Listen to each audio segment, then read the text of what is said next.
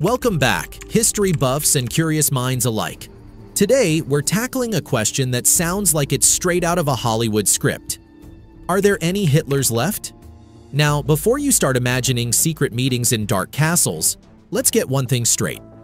We're delving into the descendants of Adolf Hitler, one of history's most notorious figures.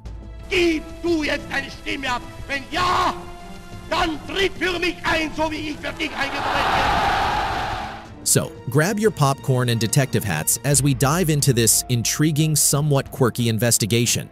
And remember, we're keeping it lighthearted and respectful. Adolf's family tree, the roots. Adolf Hitler, a name synonymous with tyranny and war. But what about his family? Born to Alois Hitler and Clara Pölzl, Adolf was one of six siblings. His brothers and sisters included Alois Jr., Angela, Paula, Gustav, Ida, and Otto. Gustav, Ida, and Otto died in infancy, leaving Adolf with his sister Paula, half-brother Alois Jr., and half-sister Angela as the surviving siblings. Today, we're peeling back the layers of this family tree to see where the branches have spread. Siblings and shadows. Alois Jr., the elder half-brother, had a rocky relationship with Adolf and spent much of his life away from the spotlight of his infamous brother, eventually settling into a life that bore little resemblance to Adolf's. Angela, Adolf's half-sister, married twice and had a daughter, Geli Raubal, whose tragic story is often overshadowed by her uncle's notoriety. Paula Hitler, the full sister, lived a life of relative obscurity, never marrying or having children, determined to live quietly under the heavy weight of the family name. The American Connection The plot thickens with the American branch of the Hitler family. Adolf's nephew William Patrick Hitler, son of Alois Jr., sought refuge from his uncle's shadow in the United States. I have just left Germany, and uh, Adolf Hitler, who is my uncle, I personally have no time for. After serving in the U.S. Navy during World War II, he changed his surname to Stuart Houston, marking a deliberate step away from his toxic heritage.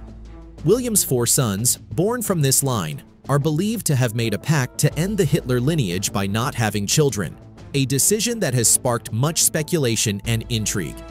The name game. With the Hitler name being as welcome as a snowstorm in July, it's no surprise that those who carried it sought to change it or hide it. The descendants from Adolf's siblings have largely faded into the background, with many choosing to change their names and live lives far removed from their infamous ancestors' shadow. Today, finding a direct descendant who carries the Hitler surname is a task that would likely prove a futile, as the name has been deliberately buried under layers of history and anonymity.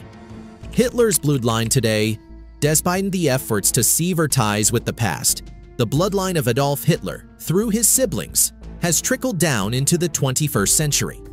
The descendants of Alois Jr. and Angela have branched out across the globe, many of them bearing different surnames and living lives that stand in stark contrast to their ancestors' dark legacy. These individuals have chosen to define themselves not by their lineage, but by their actions, contributing to society in ways that quietly repudiate their forebears' deeds. The psychological legacy. The burden of the Hitler legacy is not just historical, but deeply personal for those who carry his blood. The descendants face the unique challenge of reconciling their identity with a past they neither chose nor condone.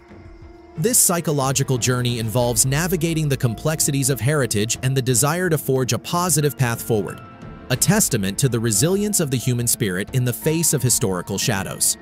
A lesson in names and legacy. The tale of the Hitler descendants is a poignant reminder of the power of names and the capacity for change. It underscores the idea that we are not bound by our ancestors' choices and that each generation has the opportunity to redefine its legacy.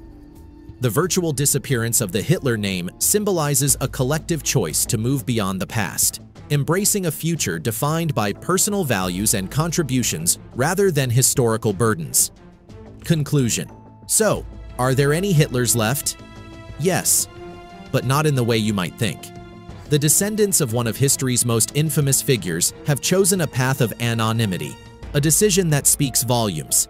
It's a fascinating journey through history, identity, and the power of a name.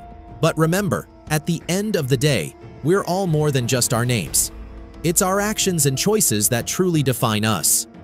Thanks for joining us on this peculiar exploration.